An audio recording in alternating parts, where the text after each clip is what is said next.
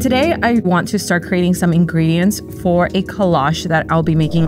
We're going to be working in Photoshop. As you can see here in this folder, I'm going to create some AI ingredients in order to create my collage. But I'm going to jump into Adobe Firefly. Maybe I could say leaves floating in the sky, detailed bokeh in the background. And let's see what this gets us. I mean, look at this. So I'll download two of these also bring in your images. And the way you do that is you go here into reference image gallery and then you want to upload an image of your own.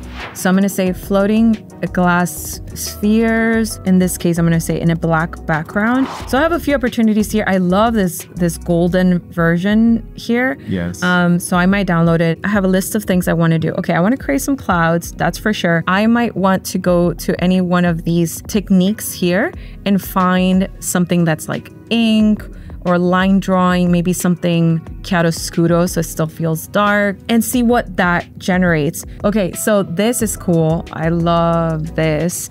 So I'll download things like this. I'm going to do a quick treatment here to my portrait. I'm going to convert all of these in black and white. So let's do here, oh, a vanishing point street was my other one. The reason why I like doing that is because I like creating a location base. Cool, vanishing point, and we're talking futuristic Ooh. vanishing point. So I'm gonna bring in some of those elements here from Firefly and start blending them in. You can see here I have a posterized layer. And what Posterize does is it reduces your image to highlights, midtones, and shadows. So, okay, that's an adjustment layer. It's applying to both. And I'm also going to add a layer where we're gonna add some texture. We gotta fill it in with black and go into filter gallery. And it's called reticulation. And I love how it looks once you add that posterize. Double click on it because it's a smart object. And in here we have the contextual bar, which everybody loves. And so I have the remove background. So gradient map is gonna give me a black and white, but I wanna play with really cool like gradients are here. Okay, so put it in between posterized and the textural layer. So we bring back this layer here. I might want to also remove the background on these. Subject oh, yeah. you selection. Can, you use object selection, yeah, yeah, and then just draw around them. That actually would probably work really well. Right. So draw around them, something like this. It's like, okay, this yep. is what you want. I didn't draw a circle. Yeah, got it. Back into there.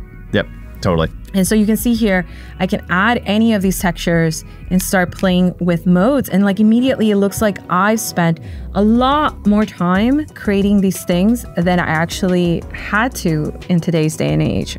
Maybe something, that's so pretty. So what if I want to create like a base here and I can say like base of moss with flowers and flying butterflies? So beautiful. I will invite you to try a new medium today in celebration of Adobe Firefly. Just allow yourself to experiment and have fun. Have fun. Have, have fun. fun. Remember, we get to do this.